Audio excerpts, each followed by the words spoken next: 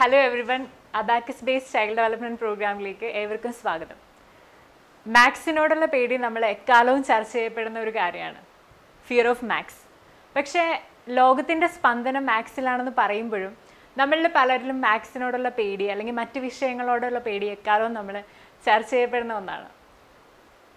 അങ്ങനെ ഇരിക്കുകയാണ് നമ്മുടെ ഒരു പുതിയൊരു ഇൻവെൻഷൻ ബി സി ത്രീ ഹൺഡ്രഡിൽ ബാബിലോണിയിലും ചൈനയിലും അതുപോലെ തന്നെ റോമിലും ഒക്കെ ഇൻവെന്റ് ചെയ്തൊരു ഡിവൈസാണ് അബാക്കിസ് എന്ന് പറയുന്നത് എന്താണ് ഈ അബാക്കിസ് നമ്മളിൽ പോലും ഇന്ത്യയിലൊക്കെ അബാക്കിസ് വരുന്നത് രണ്ട് രണ്ടായിരത്തി മൂന്നിലാണ് പക്ഷേ നയന്റീൻ നയന്റി ത്രീയിൽ മലേഷ്യൻ ഗവൺമെന്റ് ഇതിനെപ്പറ്റി ഒരു സർവേ നടത്തി.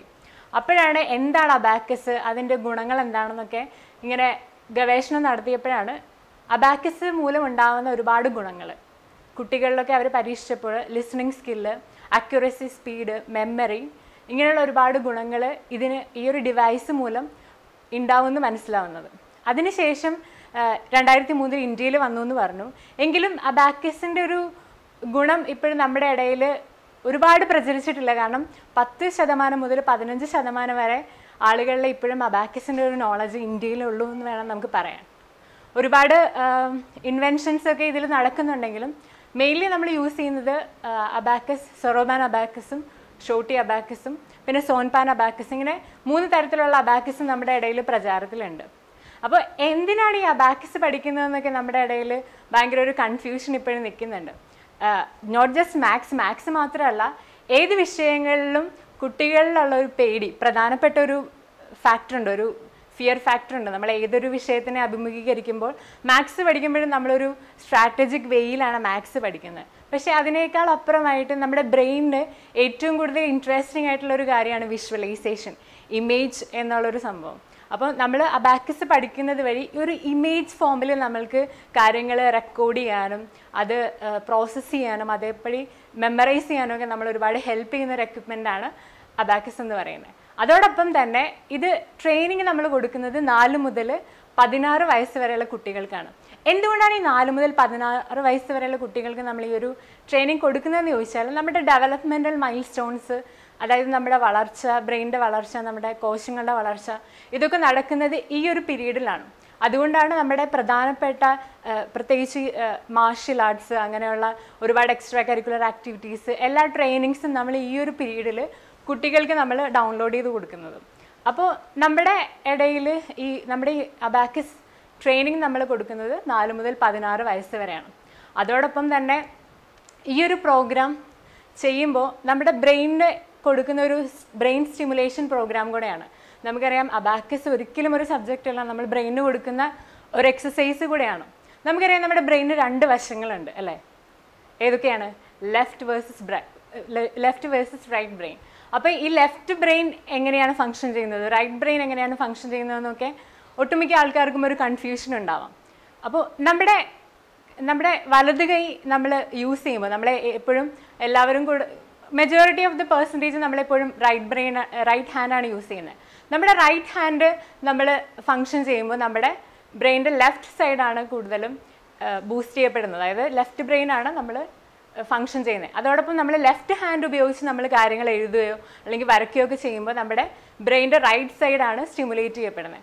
അപ്പോൾ നമുക്ക് എപ്പോഴും ഒരു കൺഫ്യൂഷൻ തോന്നാം. എഴുതുന്നതും വരയ്ക്കുന്നതും മാത്രമാണോ അത് മാത്രമല്ല നമ്മൾ കാര്യങ്ങൾ ചെയ്യുന്ന രീതികളനുസരിച്ച് നമ്മുടെ left left versus right brain നമുക്ക് എങ്ങനെയാണ് നമ്മൾ ഏതാണ് കൂടുതൽ നമ്മുടെ ഡെയിലി ലൈഫിൽ നമ്മൾ ഏറ്റവും കൂടുതൽ ഡോമിനന്റ് എന്ന് നമുക്ക് മനസ്സിലാവാനായിട്ട് സാധിക്കും.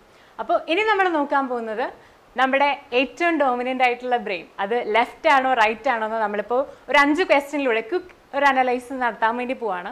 നമ്മുടെ ബ്രെയിൻ ടെസ്റ്റ് നമ്മൾ നടത്താൻ വേണ്ടി പോവാണ്. അപ്പോൾ ഒരു ഫൈവ് ക്വസ്റ്റ്യൻസ് ഉണ്ടാവും. അപ്പോൾ നിങ്ങൾ ജസ്റ്റ് ഒന്ന് ഓരോ ക്വസ്റ്റ്യനും എ അല്ലെങ്കിൽ ബി നിങ്ങളുടെ ആൻസർ എന്താണ് അത് നോട്ട് ചെയ്യാം.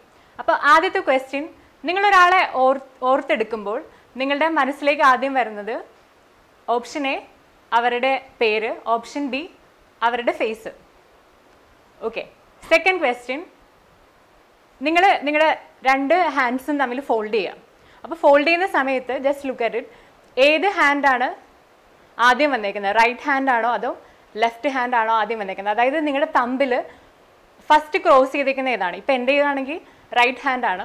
അപ്പോൾ ഓപ്ഷൻ എ റൈറ്റ് ഹാൻഡ് ആണെങ്കിൽ നിങ്ങൾ ഓപ്ഷൻ എ ചൂസ് ചെയ്യുക option B left hand okay നാലാമത്തെ ക്വസ്റ്റ്യൻ നിങ്ങളൊരു പരീക്ഷ അഭിമുഖീകരിക്കുകയാണെങ്കിൽ ഒരു ടെസ്റ്റ് നിങ്ങൾ നിങ്ങളുടെ മുന്നിൽ നടത്തുവാണെങ്കിൽ നിങ്ങൾ ഏതായിരിക്കും പ്രിഫർ ചെയ്യുക? ഓപ്ഷൻ എ ഒബ്ജക്റ്റീവ് ടൈപ്പ് ആയിരിക്കും അതായത് ട്രൂ ഓൾ ഫോഴ്സ് ക്വസ്റ്റ്യൻ ആയിരിക്കും. ഓപ്ഷൻ ബി സബ്ജക്റ്റീവ് ആയിരിക്കും കുറച്ചും കൂടെ ഒരു ഡിസ്കഷൻ പാറ്റേൺസ് ആയിരിക്കും നിങ്ങൾ താല്പര്യപ്പെടുക. അപ്പോൾ നമ്മുടെ നാലാമത്തെ ക്വസ്റ്റ്യൻ അതായത് നിങ്ങളുടെ ലെഗ് ഇതുപോലെ തന്നെ ക്രോസ് ചെയ്യാം നമ്മുടെ ലെഗ് നമ്മൾ ഒന്നിന്റെ മുകളിൽ ഒന്നായിട്ട് നമ്മളിങ്ങനെ ക്രോസ് ചെയ്യും. അപ്പോൾ ഏത് കാലാണ് നമ്മൾ ഡൊമിനന്റ് ആയിട്ട് അതായത് മുന്നിൽ നമ്മൾ വെക്കുന്നത് option A right hand right leg option B left leg okay നമ്മുടെ ലാസ്റ്റ് ക്വസ്റ്റ്യൻ ആണ്. നിങ്ങളൊരു പുതിയ പാട്ട് കേൾക്കാൻ നേരത്ത് നിങ്ങളുടെ നിങ്ങളെ ഏറ്റവും കൂടുതൽ ഇൻട്രസ്റ്റിംഗ് ആക്കുന്നത് അതിന്റെ ലിറിക്സ് ആണോ അല്ലെങ്കിൽ അതിന്റെ മെലഡി ആണോ? ഓപ്ഷൻ എ അതിന്റെ ലിറിക്സ് ആണ്. ഓപ്ഷൻ ബി അതിന്റെ മെലഡി ആണ്. ഓക്കെ നിങ്ങളുടെ ഇത്രയും ക്വസ്റ്റ്യൻസ് നിങ്ങൾ കേട്ടു. ഫൈവ് ക്വസ്റ്റ്യൻസ് ആണ്. ഇതിൽ ഏറ്റവും കൂടുതൽ നിങ്ങൾക്ക് കിട്ടിയ ആൻസർ ഡോമിനന്റ് ആയിട്ടുള്ള ആൻസർ ഓപ്ഷൻ എ ആണെങ്കിൽ ഓപ്ഷൻ ബി ആണെങ്കിലും നിങ്ങൾ ജസ്റ്റ് നോട്ട് ഡൗൺ ചെയ്യാം. ഓപ്ഷൻ എ ആണെങ്കിൽ നിങ്ങളുടെ ലെഫ്റ്റ് ബ്രെയിൻ ആണ് ഡോമിനന്റ് ആയിട്ട് വർക്ക് ചെയ്യുന്നത്. എന്താണ് ലെഫ്റ്റ് ബ്രെയിൻ ചെയ്യുന്ന ഫങ്ഷൻസ് എന്ന് നമുക്ക് നോക്കാം. അതായത് നിങ്ങളൊരു ലോജിക്കൽ പേഴ്സൺ ആണ് നിങ്ങളൊരു പ്ലാനറാണ് അതേസമയം നിങ്ങൾ റാഷണലായിട്ട് തിങ്ക് ചെയ്യുന്ന ഒരാളാണ്. നിങ്ങൾക്ക് പസിൽസ് ഒക്കെ ഒരുപാട് ഇഷ്ടമായിരിക്കും.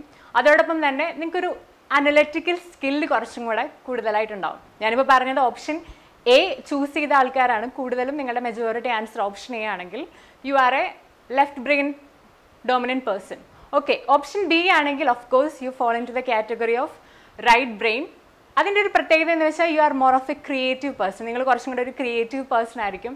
അതോടൊപ്പം തന്നെ നിങ്ങൾക്ക് ഇന്റ്യൂട്ടീവ് ആയിട്ടുള്ള കാര്യങ്ങളായിരിക്കും നിങ്ങൾക്ക് കുറച്ചും കൂടെ താല്പര്യം. പിന്നെ കുറച്ചും കൂടെ നിങ്ങൾക്ക് ഇഷ്ടപ്പെട്ട കാര്യങ്ങൾ ആർട്ട് ബേസ്ഡ് ആയിട്ടുള്ള കാര്യങ്ങളായിരിക്കും. നിങ്ങൾക്ക് കലയോട് അങ്ങനത്തെ ക്രിയേറ്റീവ് ആയിട്ടുള്ള കാര്യങ്ങൾ ചെയ്യാൻ ഒരുപാട് ഇഷ്ടമായിരിക്കും. You are a free thinker നിങ്ങൾക്ക് അങ്ങനെ ഒരു ബോക്സിലിരുന്ന് തിങ്ക് ചെയ്യുന്ന ആളായിരിക്കില്ല. Out of the box person ആയിരിക്കും. സോ ഇത്രയാണ് നമ്മുടെ ഒരു ഇന്നത്തെ ഒരു സെഷൻ നമ്മൾ പ്ലാൻ ചെയ്യുന്നത്. ഒരു ബ്രീഫ് ഇൻട്രൊഡക്ഷൻ ആയിരുന്നു ഇത്. അബാക്കസിനെ പറ്റിയുള്ള ഒരുപാട് കാര്യങ്ങൾ നമ്മൾ പറഞ്ഞിട്ടില്ല.